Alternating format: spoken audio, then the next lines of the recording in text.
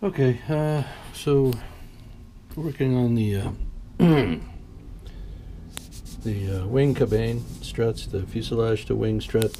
That would be this configuration. Now on the uh, on the model, it's simplified. It's just this end strut with one piece on each side of the air of the fuselage. However, on the Gilmore, they've added a couple of struts. So if we look at this drawing, and I'm not sure how good the lighting is here, uh, this is the uh, left strut pair, the left end strut, and this is the right end strut. In other words, it's one pair on one side uh, and one pair, one set of this on the other.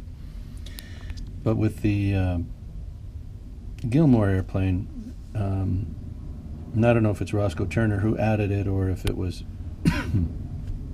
just omitted from this model, but uh, there's actually additional struts fore and aft.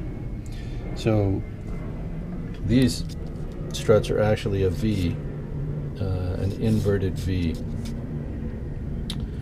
um, and not not sticking out forward, but uh, parallel on the inside. Uh, I don't know if I'm describing this correctly. I guess you'll see it when I build it.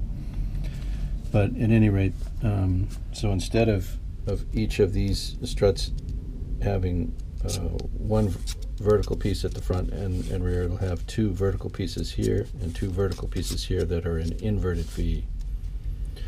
Uh, with the peak at the wing and, and the two legs attaching to the fuselage, one here and one probably here on each side.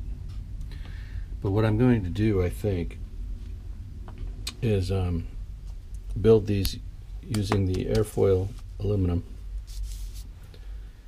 but make the two uh, interior legs, the V part of each of the vertical struts, I'm, i think I'll do with balsa. And uh, I'll just shape it in an airfoil shape and seal it and, and paint it to match the aluminum. Actually, it's body color, it's not aluminum color, so I don't have to worry about that either.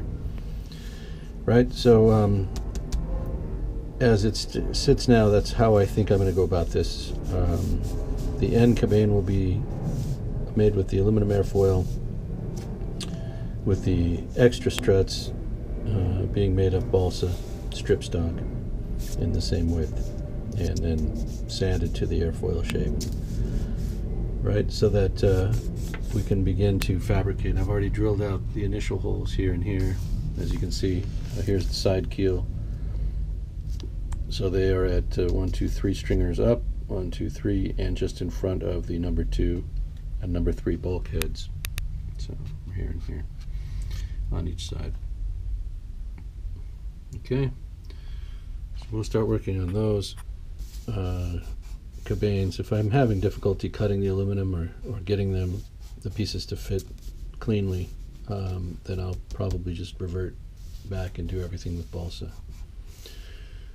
Um, right.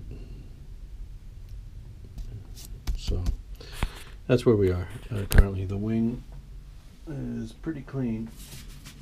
I've sanded it and gotten it pretty smooth.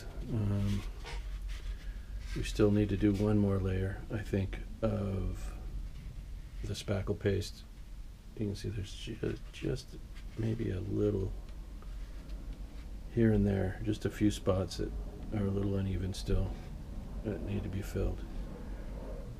But we're working away on it, and uh, I figured I could uh, get started on the cabanes and then come back and work on the wing and still have the engine. still a lot of work to do. Still have to finish up these engines. Um, I've got one of the plug wires in, and I don't know how this looks to you. I was going to use this red wire, uh, this stuff, and you can see that's the number one cylinder there. So I think I'm going to leave those red. I was going to install them and then paint uh, the cylinders, mask off the crankcase, and just paint the cylinders and, and plug wires and everything else black. Um, but the more I think of it, I kind of, I almost want to,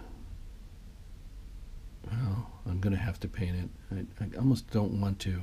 Just want to leave it like this, but there's a little bit of an issue with that, with some of the shine and and again, you know, the the semi-gloss clear coat would take care of some of that too. So I'm still still debating in my what's left in my mind um, to see.